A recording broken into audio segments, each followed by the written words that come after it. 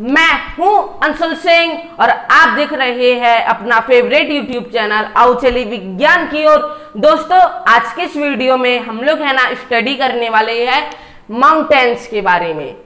आज के इस वीडियो में मैं आपको बताऊँगा कि जो माउंटेन्स है, वह आखिर क्या है। तो बिना देरी किए हम लोग है ना अपना आज का जो वीडियो है, उसको शुरू करते हैं। सो लेट स्टार्ट फ्रेंड्स तो सबसे पहले ये जान लेते हैं कि जो माउंटेन्स है, वह आखिर क्या है? तो जो माउंटेन्स है, वह है ना लार्ज लैंड फॉर्म्स है। अब आप लोग सोच रहे होंगे कि ये लैंड फॉर्म्स क्या होते हैं? तो देखिए, हमारी पृथ्वी का जो सरफेस है, वह हर जगह एक जैसा नहीं है। हमारी पृथ्वी का जो सरफेस है, वह ज़मीन से और पानी से ढका हुआ है। हमारी जो पृथ्वी है, वो 29 परसेंट ज़मीन से ढकी हुई है और 71 परसेंट हमारी पृथ्वी पानी से ढकी हुई है। हालाँकि जो ये ज़मीन है, वह भी हर जगह एक जैसी नहीं है। कुछ जगहों पर तो माउंटेन्स है तो कुछ जगहों पर नदियाँ हैं। जो ये तरह तरह के फीचर्स है, जो कि हमारे पृथ्वी पर बने हुए हैं, इन्हीं को हम लोग है ना लैंड फॉर्म्स कहते हैं। कुछ मेजर लैंडफॉर्म्स है, जो कि हमारे पृथ्वी पर पाए जाते हैं। उनके नाम है माउंटेन्स प्लेन्स प्लेट्यूज रिवर्स और डेजर्ट दोस्तों, अब हम लोग दोबारा अपने टॉपिक पर आ जाते हैं। तो जो माउंटेन्स है वह है ना लार्ज लैंडफॉर्म्स है। माउंटेन्स को हिंदी में पर्वत कहते हैं। आपको ये बात जानकर काफ़ी ज़्यादा हैरानी होगी, पर यह बात सच है कि हमारी जो पृथ्वी है उसकी 20 प्रतिशत ज़मीन तो माउंटेन से सही मिलकर बनी हुई है। अब हम लोग स्टडी करने वाले हैं माउंटेन रेंज के बारे में। अब मैं आपको बता देता हूँ कि जो माउंटेन रेंज है, वह आखिर क्या है?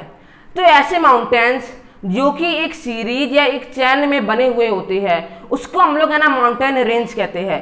अब मैं आपको एक डायग्राम की मदद से भी समझा देता हूँ। तो देखिए दोस्तों, जैसे कि ये यहाँ पे बहुत सारे जो माउंटेन्स है, वो एक लाइन से बने हुए हैं। आप यहाँ पे देख भी सकते हैं कि जो यहाँ पे जो बहुत सारे माउंटेन्स है, वो एक लाइन से बने हुए हैं। और इसी को हम लोग कहते हैं माउंटेन रेंज माउंटेन रेंज यहाँ पे जो इतने सारे माउंटेन्स है, वो एक लाइन से बने हुए हैं। सबसे पहले ये है, उसके बाद ये है, फिर ये है। तो इसी को है ना माउंटेन रेंज कहते हैं। माउंटेन्स के शेप और माउंटेन्स की हाइट से माउंटेन की एज के बारे में पता चल सकता है। जो यंग माउंटेन्स होते हैं, उनकी जो पीक होती है, उनकी जो चोटी होती है, वो काफ़ी ज़्यादा पॉइंटेड होती है, जबकि जो ओल्ड माउंटेन्स होते हैं, उनकी जो पीक होती है, वो काफ़ी ज़्यादा राउंडेड होती है। अब जान लेते हैं कि जो हिल्स है वह आखिर क्या है? तो जो ऐसे माउंटेन्स हैं, जिनकी ज़्यादा हाइट नहीं होती है, उनको हिल्स कहते हैं। हिल्स को हिंदी में पहाड़ियाँ कहते हैं। दोस्तों, अब हम लोग ये कैसे जानेंगे कि जो ये माउंटेन है, ये न्यू माउंटेन है कि ओल्ड माउंटेन है? तो इसका भी एक तरीका है। जो न्यू माउंटेन्स होते हैं, उनकी जो पीक होती है, वो काफ़ी ज़्यादा पॉइंटेड होती है। जबकि जो ओल्ड माउंटेन्स होते हैं, उनकी जो पीक होती है, वो काफ़ी ज़्यादा राउंडेड होती है। अब मैं आपको एक डायग्राम की मदद से भी समझा देता हूँ। तो देखिए दोस्तों, ये ये है हमारा न्यू माउंटेन न्यू माउंटेन क्योंकि दोस्तों, आप लोग यहाँ पर देख सकते हैं कि इसकी जो पीक है, यहाँ पे इसकी जो पीक है, वो काफ़ी ज़्यादा पॉइंटेड है।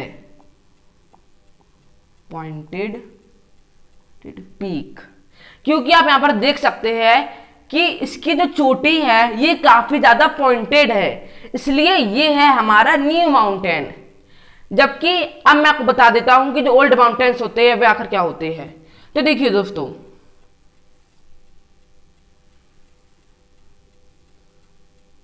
ये है हमारा ओल्ड माउंटेन। Old mountain.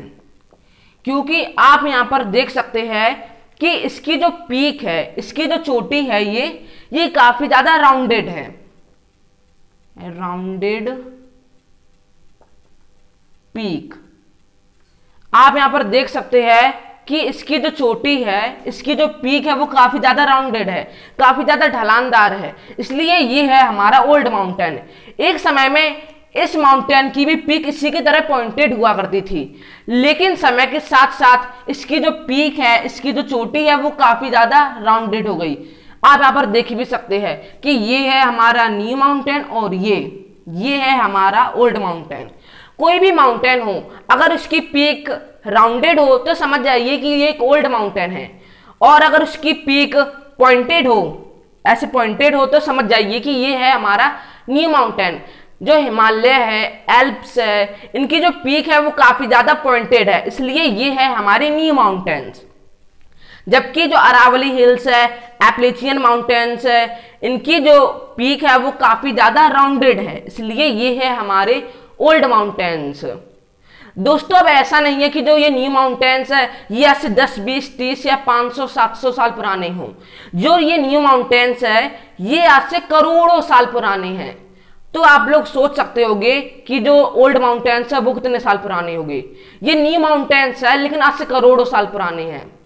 जो एंडिस माउंटेन है और रॉकी माउंटेन्स है ये है ना कुछ पेरवरल माउंटेन रेंजेस के एग्जाम्पल्स है। अब आप लोग सोच रहे होंगे कि जो माउंटेन्स है, वो इतने ज़्यादा ज़रूरी क्यों हैं? जो माउंटेन्स है, आखिर उसका इंपॉर्टेंस क्या है? तो देखिए, पहली बात, जो माउंटेन्स है, वो एक तरीके से टूरिस्ट अट्रैक्शन है। माउंटेन्स को देखने के लिए हज़ारों की संख्या में टूरिस्ट भी आते हैं। दूसरी बात जो माउंटेन्स है, उसमें काफ़ी ज़्यादा मिनरल सबिस्टेंसेस पाए जाते हैं। और तीसरी बात, जो माउंटेन्स है, वो एक तरीके से बैरियर का काम करती है।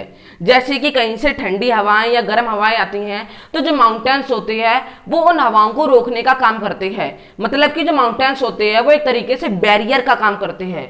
तो अगर आपको ये इन्फॉर्मेशन अच्छी लगी हो तो चैनल को सब्सक्राइब ज़रूर कर दीजिए। और मैं उम्मीद करता हूँ कि आप इन सभी चीज़ों के बारे में समझ चुके होगी कि माउंटेन्स क्या है माउंटेन रेंज क्या है। तो हम लोग मिलेंगे फिर अपने अगले वीडियो में एक मज़ेदार टॉपिक के साथ। तब तक लिए दोस्तों बाय बाय और थैंक यू